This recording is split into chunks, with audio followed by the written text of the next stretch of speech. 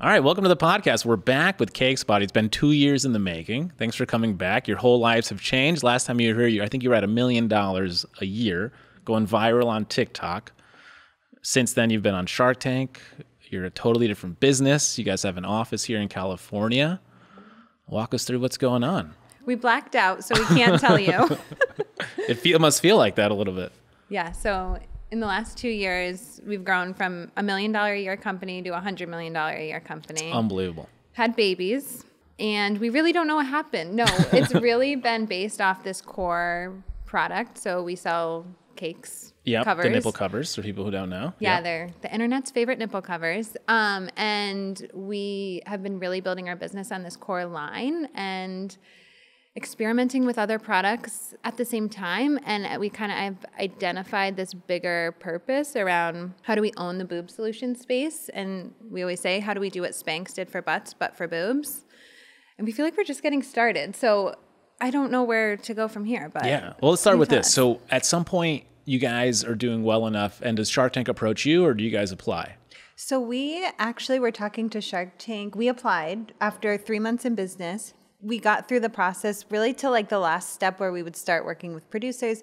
But this was like three months into our business. And as like a new entrepreneur who's just starting their business, you think it's like the dream to be on Shark Tank and get your brand out there and get that bump. And I remember Taylor calling me and being like, I don't want to do it. We're not ready. They're going to tear apart our business. It's going to look terrible. And I was at the time, you know, we had a conversation about that. And that seems like a crazy thing to say no to an opportunity like that. And that's something I'm really passionate about, though, is like knowing when to say no. But we can maybe go back to that. But so we said no. And I'm so glad we did. We didn't have the infrastructure at all to even support going on the show. we had like things. a product idea. We didn't have a Sure. scalable path You don't have to grow. yet. Yeah. So it We would didn't have much to share. we didn't have much to show, and the nature of our business being at the time we were truly a nipple cover brand. We had three products in our line; they were all nipple covers. We are like, this could be laughable. Our business could be laughable. It could be made into a joke when we were identifying there's much deeper mission and a deeper purpose behind this, and we don't want it to get lost. So we said no. A year later, we were like, you know, So, 2023. in 2023, our business was in a place where we actually had a scalable, efficient strategy to continue growing our business and the infrastructure to support it. So we applied again, we got on, and ended up doing a deal with Emma Grede, who was like our dream investor. She's the co-founder Did you guys know she was going to be on prior? Because she's not usually there. So, you had a little bit of a guest shark. No, the crazy thing is Casey and I went on our first company retreat. It was the two of us because we were the only people at the company. and we wrote down a list of manifestations that, I mean, some may call them business goals, but they were manifestations. They Okay. seemed so outlandish. It Yeah. was like, we want to do $100 million in sales. We want to donate a million dollars to women's health causes. We want to become a household name. And we want Emma Grede to be our investor. So, you, wow. So, you, you had this written down. That's incredible. and But we didn't know how are we going to even like be in the same room as Sure. Emma Grede. Like, like Uh, we don't run in the same circles as Emma, if you can imagine. So like we didn't think there was a day where we'd even be in the same vicinity. So we said when we started the Shark Tank process, we're like, if there's any chance Emma's coming back, if you can pair us up with her. so, you asked them. You asked the producers. Mm-hmm. And they Wow. said we don't know, and we found out a week before we went on air That that, she she, was going to be a guest, and it really leveled up the whole experience. We so, went do from you guys then get more nervous? Do you guys get more prep? Do you guys start changing things up as it relates to like what you're going to say on stage? I don't even. Because that's a whole nother level.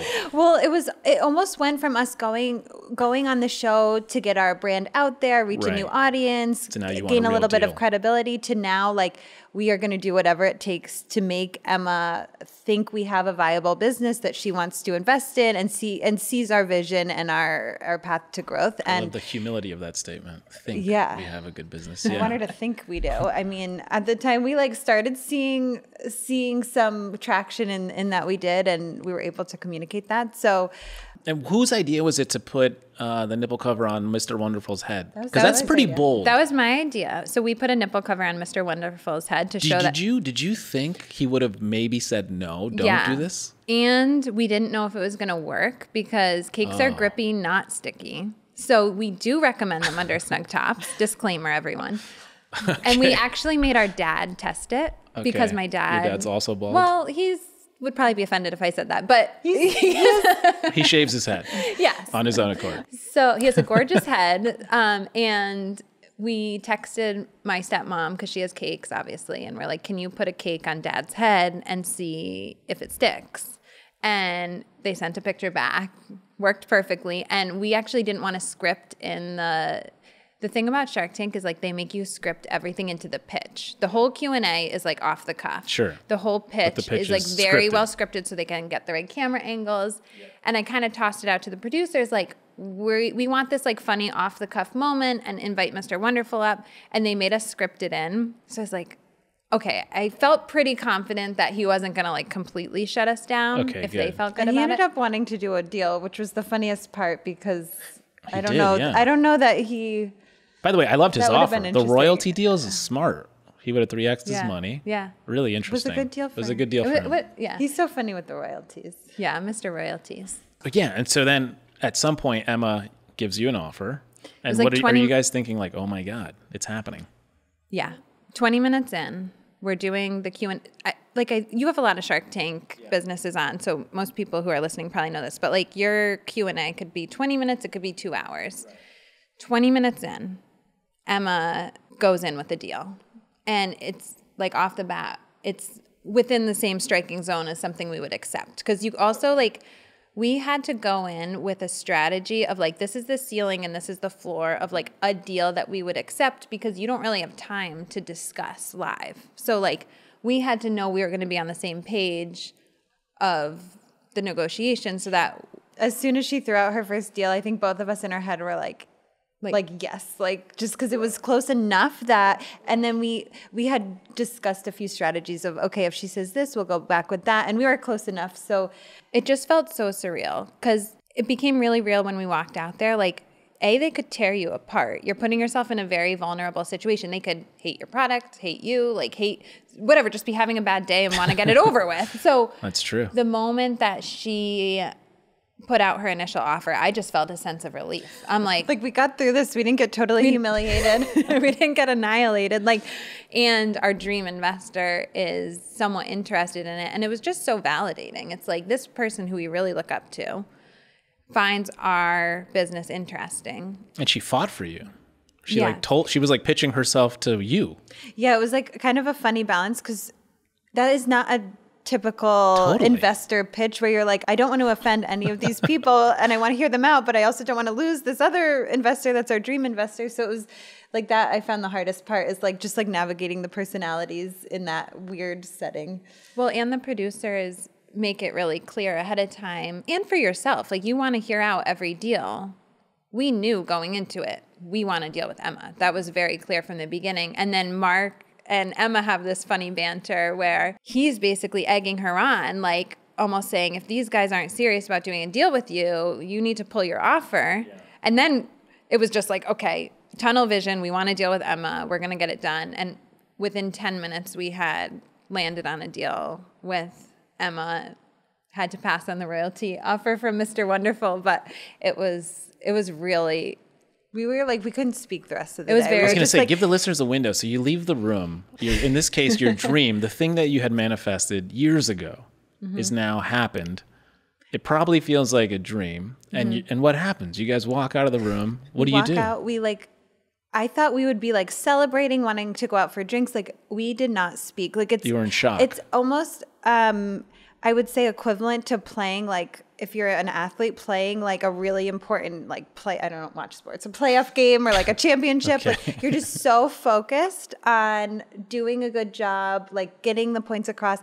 I feel like we just like had so much like, and then you're preparing all day. So like I feel like we just like after that and we knew we got through it and we knew it, we did a good job like we were just like it was actually a really hard thing to process when you have this big goal that you don't know how you're going to even achieve it and then it happens and then you think it's going to feel one way but you're just honestly like so overwhelmed so we, we took a few days to process it and then we really like got to working on our deal with Emma and started meeting with her and, and how long did like, that take, the due diligence of the deal? it took a few months I would say Okay. it took six months Six months. So are you guys like, oh my God, it's falling apart? That's a no, long time. No, no, no. I Okay. didn't feel that way. I just know she's so busy. But if I can just go back to how we felt. So I made, we're super into manifesting.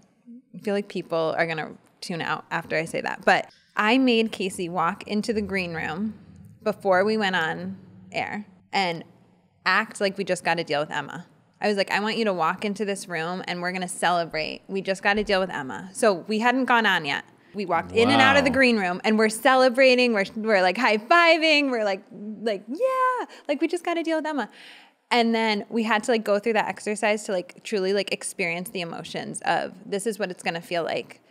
And I think putting ourselves in that mindset when we went out there of like it's gonna happen like we already know what it's gonna feel like granted it felt completely different. Said we were complete like mutes after it. Craig my husband actually asked he's like are you okay? Like are you sick? I was like i just like can't speak. But i think going through that process of really experiencing the emotions ahead of time so you feel confident and worthy and like i like just kind of at ease with the whole experience So where did you let- just go? Let's go into the weeds. Where did you pick up that skill? Like because it's probably heard it on Taylor- a so podcast the people there's are there are people who say manifesting is not real. Yeah, yeah. We've I've had uh, psychologists say that Yeah. here on the podcast.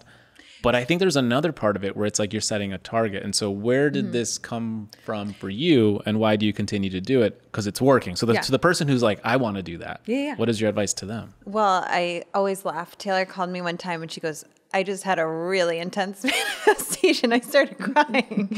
so Taylor's really big into it, but like I would say in a way that maybe more people can relate to, like what it what it means in a more tactful sense is like it's really like setting a target for where you want to go. And I am very passionate that like this is what sets a successful entrepreneur up from not whatever that means to you. It's like if you achieve what you're setting out to do versus not, it's like based on really having a vision of where you want to go. And you don't even really need to like know how you're going to get there, but you need to like set out for what you're going to do. And that's something we've done from the beginning. Mm-hmm. Before we even started our business, we said three things. We want to be a $150 million a year brand, we want to donate a million dollars to charity, and we want to be a household name three things. Mm-hmm. And we had this vision, and that allowed us, that guided all of our decisions and continues to guide all of our decisions. And like, really forces us to say no. Like, I think of our first year, there were a lot of good opportunities that came up that we said no to because ultimately it would have been a distraction from our longer term vision. And that's like the most powerful piece is like you need to define what you even want and it might not be to be a $150 million a year brand it might be i really want to be able to stay home with my kids and mm-hmm. building out this you know making decisions along the way to allow you to do that I had a, as Casey said, a powerful manifestation exercise that made me cry. No, I have a lot of them, but when I was working my full time job in Boston, we had just moved to Connecticut. So I was commuting once a week. I'd commute on a Monday morning and I'd come back on a Wednesday every week from Connecticut to Boston. And we hadn't started cakes, and I would get a Starbucks and close my eyes and smell the coffee and picture myself on the way to Boston for an investor meeting for my own company. And I was like, I don't know what my company is, but that's the that's why I believe in manifestation is because you don't need to know it takes the pressure off of knowing exactly how you're going to get there in that moment and it allows you to dream bigger than you would if you had to figure out all the logistics of how it's going to work out. So i would just like really like take in all of the senses like how does this feel? Like how does this smell? Like what is this like what are the emotions going through my body? And the other day we were on our way to a meeting with emma and then we had the chance to meet with the ceo of ThirdLove in the same trip. So two icons of major, major undergarment brands. And I just remember I had deja vu. I'm like, this is exactly the feeling that I had five years ago on my commute, my ridiculous commute to my corporate job, wishing I had some path. And I didn't know the path, but like, I'm like, oh, I felt this before. So in that moment, do you feel nothing? Because you've already been there. Yeah. Like, Like it you're like, I knew it excitement away. a little bit out of it Yeah. because you're not as starstruck. It kind of like normalizes the situation when you're in it. I have this in real estate development because it lives in my head before even I have the land. And then when I have grand the grand opening, and I'll be like really specific things. I'll be walking by. So in this case, with the sports bar, let's say, let's say I'm, I have a vision where it's like I'm going to be saying hello to Mark Cuban as I walk by, being like, "Thank you for joining the investment mm-hmm. team." That'll happen, and I won't feel anything. Yeah. I'll be bored. Yeah. It's it's this weird thing. Well, we found that a lot with It's different different things along the way. I don't know if you've experienced this where the most exciting part has been almost like the little steps along the way where you realize, oh, we're doing it. And it might be our, like the first time we went viral, in quotes, where we sold a few hundred units in a day. Now we're selling 50 to 100,000 units a day. And we sell a pair of cakes every five seconds, I think the stat is now. And, but I think back to the first time that we went viral, in quotes, if you're listening, um, where we sold maybe a few hundred units in a day. And like that was almost more exciting because we didn't think we could, or we didn't, we hadn't done it before. So it was the first time we experienced that level of success. So it was those little moments along the way, or the first time we got in like a major publication in Vogue or something like that. Like mm-hmm.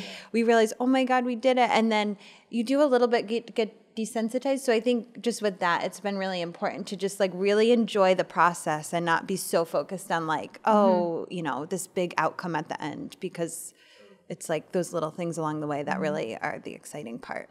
When it came to Shark Tank and you guys aired, what did you see bump wise as a business? We had been reaching so many people on social media. So we did about the same um, volume of orders that we did during our Black Friday. So it was definitely Okay. like a good weekend. So it's like the best day. Maybe you just Yeah. repeated Yeah. like a, a really good Yeah. day of the year. Okay. So not not crazy. But if you th- not not crazy for us because if you think about it, like the show reaches maybe two million people when it airs. I think was the number, but we reach more than that probably on social media every day. So I think if you're not reaching so many people on social media, businesses mm-hmm. do see like an insane. Mm-hmm. But the content we get from Shark Tank is so important in terms of like credibility building. And then we've generated way more revenue from the ads featuring our Shark Tank content than we have from the show. Got it. So that's super So cool when you think, repurposing, yeah, when you think about leveraging the opportunity. I mean, we're still a year later Totally. running the same ads featuring us slapping the cake on Mar- on um, Mr. Wonderful's head. So Yeah, it's like smart. the value you get. Did you it. see in the just in the marketplace? Did you see your competitors shift their strategy all of a sudden because now in some way you've given them credibility in their product, and Mm. maybe now they're going to throw marketing dollars because they're an established brand? Like, what did you see the response from other brands in your space? We definitely have a knockoff issue now. So there's like a counterfeit knockoff issue. A lot of brands, especially our size, like I think Shark Tank brands specifically, but like where you're not big enough to have like the legal force to like take them all down, but you're big enough where they're starting to see there's traction. So that's like been a huge challenge after Shark Tank is like managing the knockoff counterfeit situation. Like they'll they'll do your branding, all of it. Yeah, like they'll store, steal, essentially. they'll Okay. our content. So they'll take videos of our team, me, Lexi, whatever, and then drive it to a website that again steals our content. So they think they're on the cakes page, but then you'll realize, oh, it's the URL is some wonky thing. Got it. Yeah, so that's been a challenge. And then the competitors were not too worried about like other boob, well, we're, we call it boob solution space. We don't really worry about competitors typically just because like I don't actually think anyone really should. I think if you have your own core vision of where you're going, which we do to disrupt the bra industry and provide solutions that fit women how they're dressing today as like a complement to a bra or an alternative to a bra, and we say like to summarize that we want to do what Spanx did, did for butts but for boobs. So when we think about that like we are on our path and there are other brands that sell similar products who they've maybe like tried to mimic a little bit of our marketing but like that doesn't necessarily worry me and I don't think it's really working for them because they need to stay core to their brand and they have their own things that they're doing well and you know they should just lean into that. So When you guys first started working with Emma, was it immediately other SKUs, other products? How big did she see your brand? Because that's always a thing, right? You Mm-hmm. have this experienced veteran, and they're going to tell you things that you probably didn't have any Mm-hmm. concept of. And so, how big was she thinking when you first started working with her?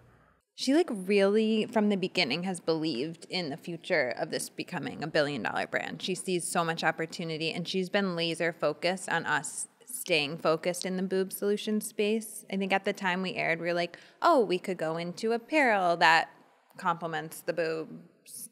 That we could do these more solutions like the core cakes covers products, push up, lift, volume, all those things. And she's been laser focused on helping us build out the solution space because there is not an owner in that category. It's like a lot of like cheap Amazon brands or like lower tier stuff you might get at CVS or something like that. So um, she's seen the vision really clearly from the beginning. And then she hasn't pushed us at all on developing a robust product line too quickly. And I think that's been really helpful because we're completely aligned on that. Like, I think the reason for our success is we've been so laser focused. We've built this business off of pretty much nine SKUs that we've had for two years. Like, we're not constantly coming out with newness. It's like, how do we get really smart about marketing the same product to every single different use case? So instead of having 10 products and marketing them to 10 different types of people, we have one product and we're marketing it 10 different ways.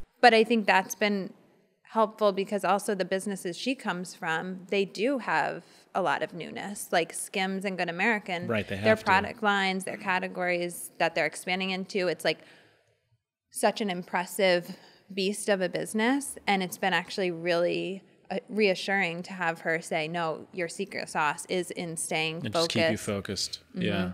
And so, as you guys, how's your life changed? What's what's since two years ago, and then since the show? Here you have a hundred million dollar business. I mean, like everybody that I know that has a hundred million dollar business, which isn't many people, but I always tell them like, do you want to just make yourself the chairwoman or Mm. the chairman, and you know let someone else run the company because it's different. yeah. Mm-hmm. It's different now. You have different problems. You have an office. You got a Yeah. team to lead, and so how do you guys view that?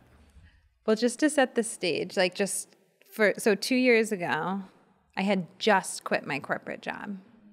Casey had quit a few months earlier. We were doing about a million dollars a year in sales. So, eh, so that's just just to level set like the transition. Yeah, and I think like I always say our job at its core has been the same.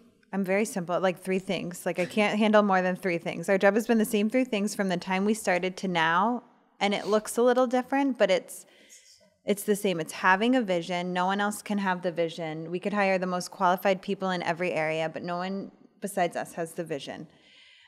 We need to say no to things that are a distraction from that vision, and we need to hire the best possible people in any areas that we need them to. And that was true for our first hire, and that's true now when we have like more complexity in our organization. I think the difference is now it's a bigger beast to manage. So now things are coming up that we I don't even know. Like it's just like every things that might have felt small before are feeling a lot bigger. Like for example, our manufacturing capacity. Like we are having to onboard additional manufacturers, fulfillment centers, and then of course having additional team members on our team to manage those things. So it's it's a lot of like infrastructure and like HR responsibilities and then managing, you know, making sure our team feels really secure. So that's been much more challenging, but I I think there is definitely a need for us to take a step back so we can continue leading the vision and have the most capable people mm-hmm. really running the operation who have done it before because ultimately like we haven't done this before. I would just add to that. I have like a personal way I've changed, not to just talk about me, but when you have little problems at the beginning of your business that seem so big, appreciate those because those are going to be 10 times bigger down the line. So I think just like for anyone listening who's in like the earlier stage of your business versus where you want to go, like when things come up, they're going to come up at some point. Like those problems are going to just be 10 times more annoying to deal with later on. But the good news is, and something that I find a lot of peace in now is like as much as it's harder to run a hundred million dollar company in some ways, you also have really qualified people leading each department. So I actually sleep pretty well at night knowing. I mean, we had a huge customer service issue, which pains us because we care so much about customer service. But I slept fine at night because I knew we had a really strong person at the head of our customer service team who's going to figure it out and fix it. So versus like when it was just us, it would be like me on the phone crying to like customers and like the post office and our fulfillment center. So so that makes me feel happy knowing like I mean that's just like one of my core principles is just getting like the best people in every spot. I'm not going to speak for you. I'll just how I've changed in the last 2 years. Like 3 years ago, we were both on the verge of layoffs, couldn't get a promotion in our marketing jobs. Today, we have the most viral product on TikTok. And it's so validating and it's a testament to even when someone else doesn't believe in you, you need to believe in yourself more. So, like, even when your boss doesn't believe in you or you go into an investor meeting and someone shuts you out, you are going to get yourself where you want to go, even when no one else sees the vision. So, I just think it's like a testament to how much can change in two years, how much if you let yourself really have great ambition and like let yourself actually Define it. define what your greatest ambition is. Don't limit that because you don't know how you're going to get there. So that has been just like such a confidence building thing for me. I'm like I used to go into meetings in my corporate job and feel like I don't really know I feel like I know what I'm talking about. I feel like I have value to add, but like I don't know if like I should be speaking up in this situation or I like go into these like meetings with like CEO type people and be like, "Oh, I should like stay back because I don't really have a lot to contribute." And so I just think like I could go on with all these like you know everyone has gone through this. You've been you haven't gotten jobs that you've applied for, whatever. And it's like you have so much to offer and just like if you can let yourself dream big and have great ambition, you will get there. Does it ever scare you? In the sense of like, oh my God, here it is. like the moment you realize the thing that you've had in your mm. head is going to happen, there's a part of you that probably is terrified, like, oh my God, I am that person. And I lived in my head for X amount of time thinking I was, but I did I really believe I was? And mm-hmm. now clearly I am. so I think like, you. I feel like a little bit like, is the shoe gonna drop? And okay, so okay. I'm Yeah, like holding on to thing. it really tight. Okay. So that's what I would say is the biggest fear. But I also think I feel very clear on the fulfillment I get out of doing this is the greatest gift of it all. So I'm like, I'm not gonna get distracted by other outside like points of validation. I'm like, if I can get the fulfillment out of this, like no matter what happens in life next, I'm like always going to be seeking this level of like excitement and fulfillment out of my job. Let's talk about what's next for you guys. Where do you guys see this going ultimately? So you're on a hell of a run. I would say the economy, just at a macro level, is going to get better. And so that's good news. Positive. I don't know if that means more cakes or not, but nonetheless, it, me- it's a good news. And so directionally, things are favorable. How big do you want to take it? Do you want to sell it? I think well what's great is our vision has stayed the same from the beginning as we have ambitions to redefine the bra industry and like really solve problems that women are facing even for us like we started this business because we hated the pads in our sports bras that's a relatively simple problem but we have heard from women who have gone through breast cancer, breastfeeding moms, like all sorts of different, much more serious things and much more complicated problems to fix. So that's the first thing is defining and the first thing is designing more solutions for different problems that people are facing. That is a big mission that we have. Like I always say, like people have somehow sent people to the moon, but we still haven't really cracked the code on like supporting women's boobs and like providing these solutions. So there's a lot more from like a product standpoint that we are on a mission to do. There's no doubt this is multi-billion dollar opportunity to do mm-hmm. this and cakes is going to get there i think as founders we are at the point where like we want to be able to continue getting the team in the right direction making sure the ethos of the brand stays true and then really hiring some more people to be running the business to this next stage of growth because there's a lot of complexity to continue growing at the rate that we are.